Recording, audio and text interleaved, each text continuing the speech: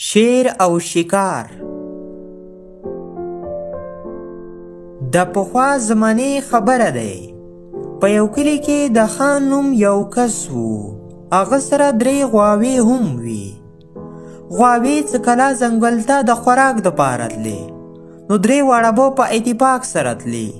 دی د وجې خان ته هم د غواو فکر نه و کوم ځنګل ته چې دا غواوې د خوراک دپاره تلې هلته کې یو شیر هم و اها شیر به د غواو خوړلې کوشش کولو خو دغو غواو به په اتفاق سره ورنې حمله کوله او شیر به په منډه کړلو اره کپی ټایم وشولو چې زه دغه د غواو خوړلې کوشش کوم خو دوی ما لا غار کوي اخر زه داسې څه وکړم چې دوی زه شکار کوم شکار. شیر به کوشش کولو خو هر بار به شیر ته شکست ملویدو.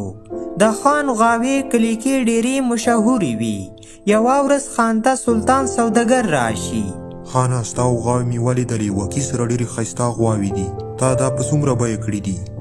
سوداګر صاحب تا نه خطا هم ته ډېر سوداګران راولو خو زه دغه غواوې نه خرڅوم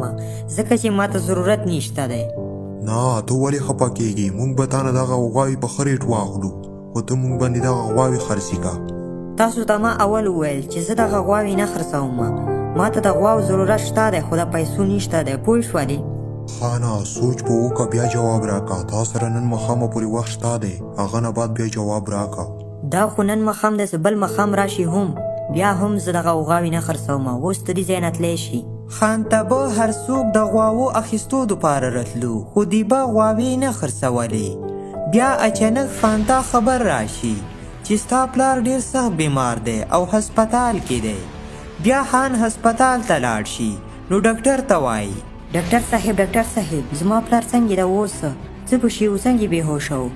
ستا پلار ته د زړه اټېک شوی و موږ ته په کار ده چې زر تر زره د هغه علاج وکړو خو ته اول پیسې داخېلې که. خو ډاکټر صاحب زه څومره پیسې داخې لیږم چې زما پلار علاج وشي ستا پلار باندې خو فلحال یو لاک روپۍ لګیږي باقي پته نشته دی چې نورې به څومره لګیږي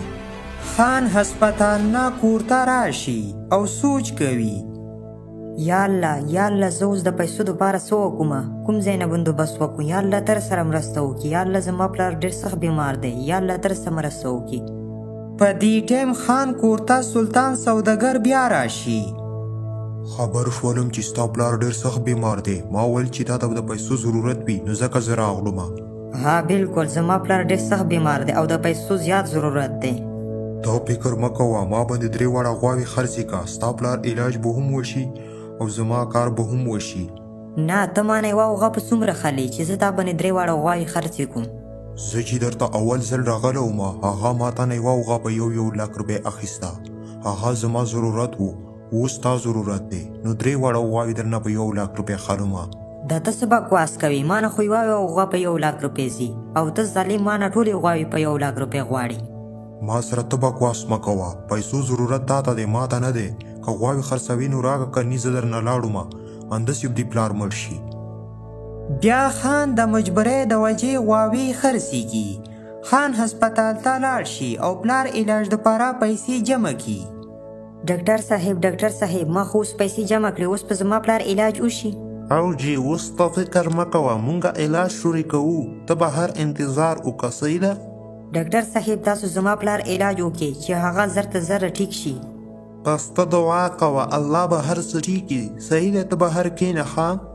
بیا څو ورځې نه بعد د خان پلار هم ټیک شي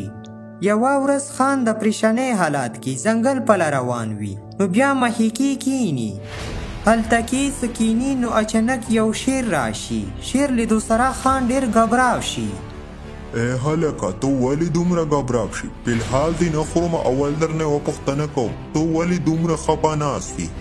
ته دا پلحال ملحال پریږده او ما وخوره زه هسی نه هم غمجن یمه ما ختم کړه زما دری غواوی وی هغه غواوی مانه یو ظالم دلیلام په بیه باندی واخیستی. څه دری غواوی هغه ځنګل ته چی کومی غواوی راتلی هغه ستا وی؟ او جی هغه غواوی زما دی خو اوس زما ندی دبل چا شوالی. خانو ځکه ځنګل کې هغه غوا نشي لیدی یوه خبره درته اوکومه ما ډیر وخت نه دهغو غواو شیکار کولو خو هر بر به ماته شیکست رکولو. هغو غواو کې ډیر زیات اتفاق وو دیده وجې ما باندې هغه غواوې ډیرې ګرانې وي اوس دا راته ووایه چې ته زما شیکار کوې او کنه. نه مړه زه اوس ستا شیکار نه کوم ته خو زما دوست شولې. خو ماته دي ځنګل کي خوراک نه ميلويږي زه تاسره ځم. ولې نه خامخا رسره لاړ شه تاسره به زما ټايم هم پاس وي خوراک فکر مه کوه. بيا خان ځانسره کورته شير هم راولي د خان پلار ډير حيران وي بيا هغه نبت د خان پلار وايي. هرې بچه ده تاسره شير څه کوي څه کوي مونږ په بربدوي دسي نه وي چي شکار مو کي. اره زه تاسو ته څه نه وایم خان زما دوست دی دوست په دوست فکر کوي اره هر شما دا خو خبرې هم کوي زما خو یقین هم نه راځي چې یو شعر به هم خبرې کوي ستا یقین راځي او که نه خو زه خبرې کولی شم بچې تا سره زما ډېره ضروري خبره دی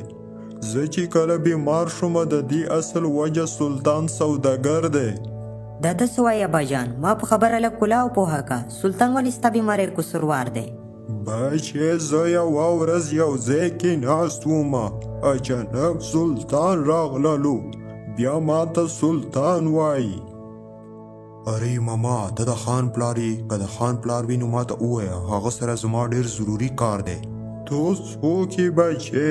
او زه د خان پلار یم ما سره د څه کار وو ستا دپاره ما یوه ستنه راوړې دی که ته دغه ستنه ځان ته ووهې نو تا کې به ټول ژوند کې به درد راونه ځي زه ستانې مانې نه وهم دا ستنه ته خپل ځان ته ووایه چې تا کې درد راونه ځي بیا هغه ما ته په زور ستنه وواله او زه یې بې هوشه کړم بیا ما ته نوره پته نشته دی خانو دا ټول ګیم سلطان د غوا او حاصلولې دپاره کړی و ستا بیمارۍ خبر سره هغه هم خبر وو زه خو همدي ته حیران وم نه بچې اوس ته هغه سره څه کوې مونږ ته په کار ده چې هغه ته سبق ورکو چې بیا داسې کار چا سره ونه کی هغه اول زما پلار ته نقصان رسولی دی او بیا یې مانه په دوکې و غاوې اخیستي دي دا هر څه به زه ورنه واپس کوم باچه سلطان ته داسې سبق ورکې چې بیا هیڅکله هم داسې کار چو ونه کی تاسو فکر مه کوئ دا کار ماته پرېږدوئ نن خو به زه هم د انسان شکار وکوم د سلطان ولې نه شیر صاحب خامخا سبق ورکا خو ته به هغه وپیژاندې چې هغه څنګه روغ دی تاسو د دې فکر مه کوئ زه هغه بوی نه ملموی شوم او نوره چل مال رسي بیا شیر کورنا سلطان پسې اوزي نو لږ ټیم بعد سلطان ورته مخکې راشي بیا شیر وایي اې هلکه تاته خو سلطان نه ده معلوم هغه سره زما ډېر ضروري کار دی. په سلطان باندې څه کوې؟